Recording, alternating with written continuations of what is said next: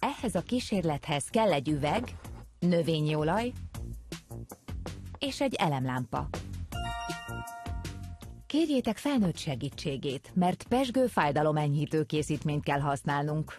Hú, de hosszú ez így. Sima gyomorfájás csillapítóról van szó. Már hozzáadtam 10 csepp ételfestéket a vízhez, így sokkal szebb és jobban is látjuk, hogy mi történik. Először is töltsd meg az üveget a háromnegyedéig. Könnyen negyedekre oszthatjuk. Egy, kettő, három, négy. A harmadik vonalig kell öntened.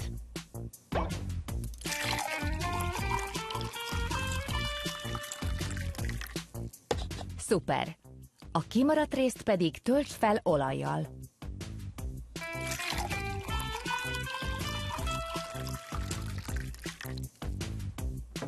Nézd csak, Erik, már is külön váltak.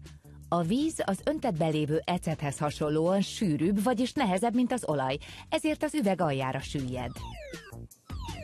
A kísérlet utolsó lépéseként dobj bele egy-két pesgőtablettát. Ehhez mindenképp kérjetek segítséget. Gyorsan tekerd rá a kupakot. Most jön a legjobb rész. Kapcsold be az elemlámpát és oltsd le a villanyt. Tedd az elemlámpát az üveg aljához. Nem semmi, ugye, Erik?